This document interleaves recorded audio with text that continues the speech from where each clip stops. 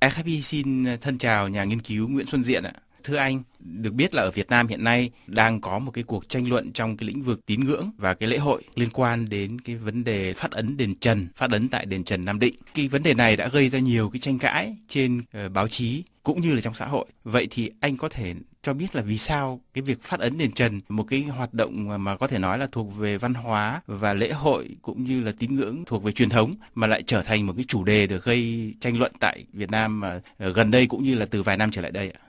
Thưa anh là sở dĩ mà có cái điều này đấy là bởi vì là cái lễ khai ấn đền trần hàng năm đấy đã gây ra một cái sự lộn xộn mất trật tự an ninh trong cái đêm 14 tháng riêng và các nhà nghiên cứu thì thấy rằng là việc biến một cái lễ hội từ một cái lễ hội nhỏ bé ở cái vùng Nam Định đấy đã trở thành một cái lễ hội mang tính chất quốc gia với sự tham gia của nhiều quan chức cao cấp của chính phủ và nhà nước ấy, thì là khiến dư luận người ta rất là bức xúc. Và một điều nữa là các nhà nghiên cứu cho rằng là cái việc mà triển khai cái lễ khai ấn đền trần rầm rộ không dựa theo cái chứng cứ lịch sử nào đấy đấy là một sự xuyên tạc nghiêm trọng đối với lịch sử nước nhà.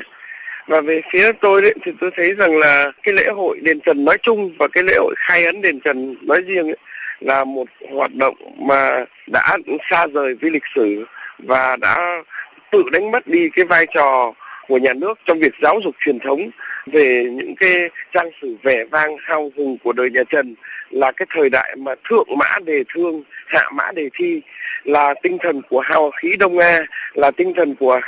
hoa quang đồng trần thì tất cả những điều đó không được tuyên truyền ở những cái lễ hội đó và người ta nhìn vào cái lễ hội đền trần là chỉ thấy một cái sự lộn xộn và một cái sự quảng bá cho một cái niềm tin mê lầm rằng là ờ, ấn đền trần có thể đem lại cho người ta sự thăng quan tiến chức. Thưa anh, vậy nguồn gốc từ đâu mà cái lễ phát ấn đền trần lại được tổ chức như thế này ạ? Ở đây tôi phải nói lại rằng là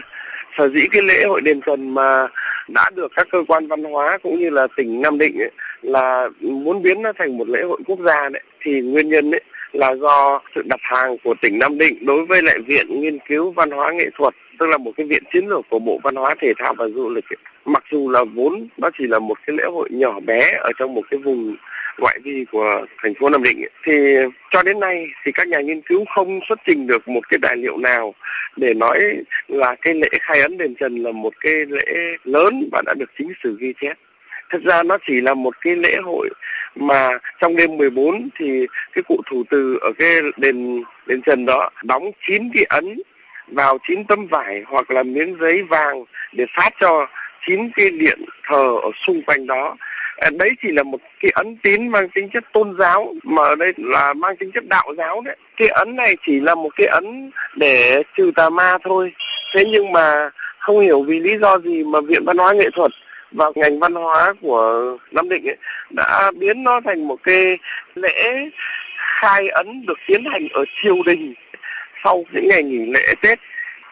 Và hình như là tỉnh Nam Định và cái viện văn hóa nghệ thuật vẫn muốn cái lễ hội này được tiến hành rầm rộ như những năm trước ấy. Cho nên là người ta đã tổ chức nhiều cái cuộc hội thảo và thực chất ấy là để hợp pháp hóa, nhà nước hóa, hành chính hóa một cái lễ hội mang tính chất tâm linh tôn giáo như thế. Dạ thưa anh, vậy thì theo anh thì hiện nay ở tại Việt Nam ấy thì có những cái giải pháp nào đã và đang được đề ra để mà thoát ra khỏi cái tình trạng mà tạm gọi là, là bế tắc hiện nay? Các nhà nghiên cứu ở Viện Văn hóa Nghệ thuật ấy, đó, tức là cái viện chiến lược của Bộ Văn hóa thì vẫn muốn tiến hành cái lễ phát ấn này nhưng mà tôi, tiến sĩ Nguyễn Hồng Kiên, rồi thì tiến sĩ Lê Thị Minh Lý là phó cục trưởng cục di sản, rồi thì tiến sĩ Trần Chiến Thắng, nguyên thứ trưởng Bộ Văn hóa, Thể thao và Du lịch, rồi nhiều người khác nữa thì cho rằng là bây giờ những cái gì là của dân gian thì phải trả về cho dân gian. Quy mô của nó như thế nào thì phải trả về như cũ và tiến hành theo đúng nghi lễ truyền thống ngày xưa anh có nói đến là cái chuyện mà trả lại cái cái, cái lễ hội này trở về với cái văn hóa của dân gian ở địa phương ấy, thì cụ thể có nghĩa là như thế nào? Cụ thể là chúng tôi cho rằng là vẫn nên duy trì cái lễ hội phát ấn đền Trần nhưng nó chỉ là một cái nghi lễ ở trong làng và nó không được thổi phồng nâng cấp lên thành những lễ hội quốc gia. Đêm hôm 14 thì cụ thủ từ sẽ tiến hành lấy ấn và đóng chín cái ấn phát cho chín cái ngôi đền xung quanh để người thờ cúng, không phát ấn cho bất cứ một người nào và mọi cái lễ này chỉ tiến hành vào cái nửa đêm ngày 14 như thế thôi chứ không có phát ấn hay là bán ấn.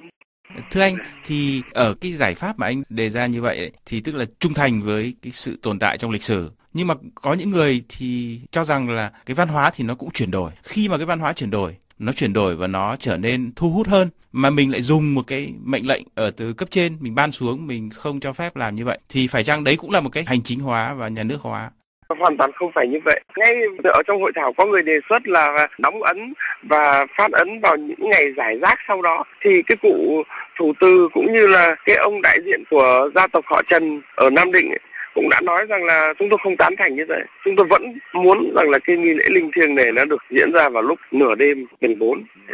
Thế ở đây tôi muốn nói thêm rằng là cái hội thảo vừa rồi là bàn về cái mô hình của cái lễ hội đền trần nói chung năm 2012 thì tôi đã phát biểu và tôi phê bình những cái người lập dự án đó